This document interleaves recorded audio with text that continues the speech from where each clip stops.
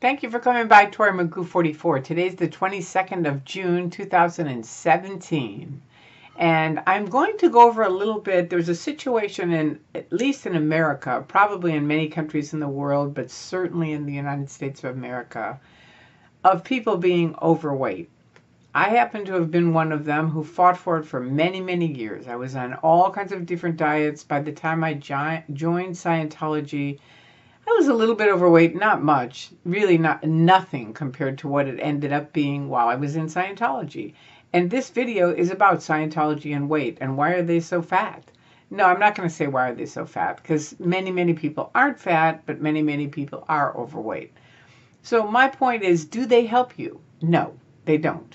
And I want you to know that because people go into it. I didn't go into it to lose weight because I wasn't overweight when I went in there but I certainly gained weight as I was in the Church of Scientology. It's not really a church, it's a cult. In my opinion, it's certainly a business. No question about it. It is a flat out business where you have to pay for it's like a triangle and you have to pay for every single level all the way.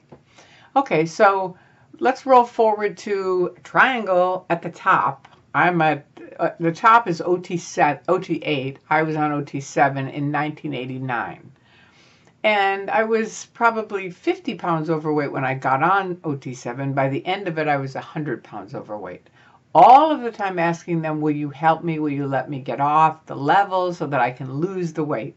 Anyway, long story short, I finally joined Weight Watchers, which I cannot say enough how helpful they have been to me. But one of the biggest things they did for me, Scientology, when you get to the top, believe it or not, they're not only stopping your free speech. You can't really talk to anybody except what's okay. You know, you can't talk to anyone declared suppressive, which are, of course, is, of course, anyone with any facts out there you cannot talk to. Um, anyway, long story short, for me, it was just awful. It was just awful, awful, awful. And I went to Weight Watchers, and the Weight Watcher lady said, Well, you know what? She was giving a talk on decisions and people making decisions on what should you eat? Should you eat this? Should you eat that? And she said, have a committee meeting. And I thought, have a committee meeting? What is she talking about there? Because they were just sort of like, anytime you're talking to yourself, that's your case. And you need to handle that. And she was like, everyone talks to yourself. You know, do you want to have this? Do You want to have that? Should you get the donuts? Should you get the vegetables, fruit, donuts, you know, whatever, decisions, right? And make a better decision. That was her thing. Every single time. That's what it is. It's just make a better decision. I don't know if any of you have seen What About Bob? It's a movie. It's very funny about a guy that was just terrified of everything, couldn't do anything. And uh, Richard Dreyfuss was a psychologist who got him, he'd written a book and he just wanted him to buy the book. But basically, he did Bill Murray did buy the book, and started using it, and just doing little baby steps at a time overcame these huge problems. And that's sort of similar to Weight Watcher for me. I just did a little bit at a time. I knew it wasn't so much losing weight that is the biggest problem in weight, it's keeping it off. So I went to the people that were th- had been there for a very long time and were at their goal weight. And I said, What do you guys do? And they said, We come every single week. And I thought, all right, that's what I'm doing. And I lost 60 pounds in the very first year. I was in Scientology. They were not helping me at all. I got to Weight Watchers, started losing weight, lost 60 pounds. And I felt fantastic. I mean, the change in losing 10 pounds is tremendous. I mean, it, it's it's hard to believe. You know, you don't really think it's that much. We, I think we had a lady in Weight Watcher uh, uh, last year who came in in a wheelchair and on oxygen, and then a couple meetings later, she walked in and got an award for losing 15 pounds, and we were all like, "Okay, who's this lady?" And she said, "Well, I lost a little bit more," and we all went, and she went, uh, "The wheelchair?" And she said, "Well, I still use it occasionally, but I could I could walk in here and stay here for the whole meeting." And she said, "And there's something else, oxygen." You know, and it was just like, wow. And now it's a year later, she's going on vacation. She's just a completely different person. And you see that a lot in Weight Watchers. People say, but doesn't that cost money? And it's like, yes, it costs money to be overweight. It costs money to go to the doctors. It costs money to buy medicine. A lot of things cost money and uh, everything not everything but many many things cost money and you might as well invest in yourself because that's the thing. It's every day you're not you're kind of going i know i should but i'm not going to or i'm going to try just eating carrots that'll work. It won't because you're going to go back to eating and that was my realization. It was like i had tried you name it. You type in and name any diet i've been on it. I, I have. I tried every diet there was. And then I got into like, well, I must have a kidney problem. That must be it. Right. And of course, Scientology was like, well, it's your case. That's it.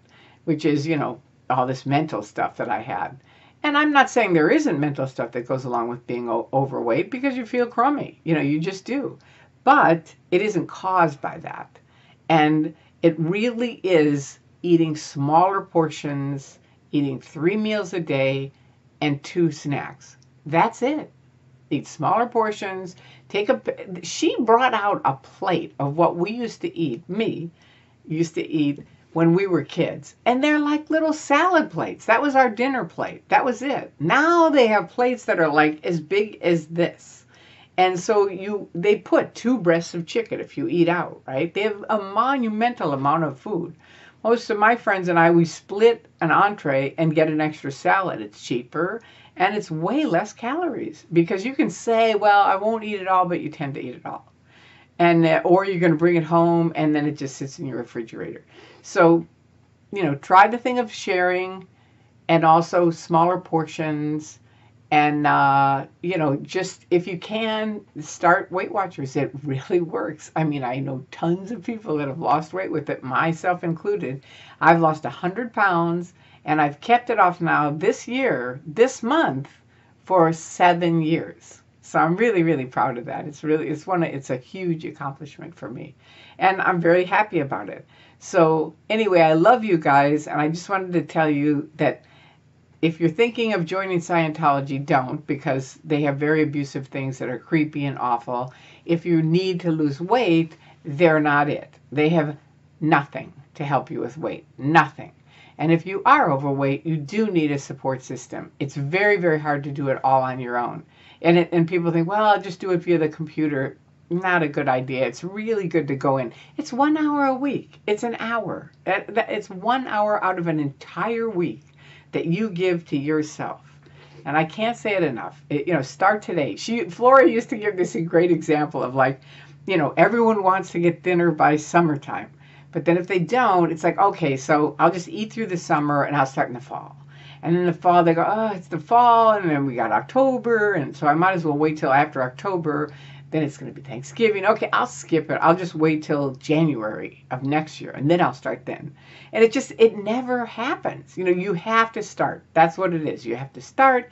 You have to walk in. You have to commit yourself to it and come every week and just have a ball losing weight. It feels terrific. I can't tell you. I feel fantastic. And I want to thank all of you for supporting me. And I love you. And I love you for helping expose the abuses of the Church of Scientology. One of them, for me, is fraud. They saying they'll do things when they don't. They don't say they'll help you lose weight, but they don't say they can't, right? They don't say we won't. They don't say it won't. They say, I think we can help you out. I do. And I'm sorry it's freezing a little bit. I shouldn't be moving around so much. My little thing is getting weird. All right. So, anyway, there you go. I love you guys, and I will talk to you soon. Ciao.